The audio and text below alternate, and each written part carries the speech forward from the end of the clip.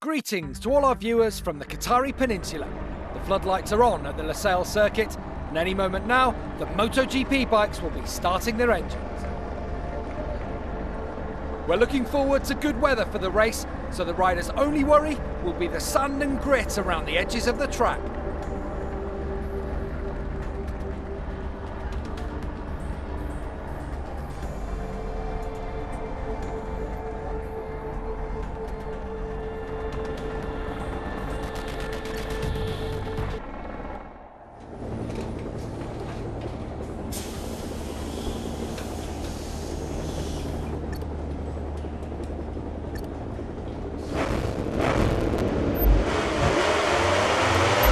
So the race is about to begin, and the riders know that all the hard work they put in won't mean a thing if they can't cross the finish line in one of the positions that counts.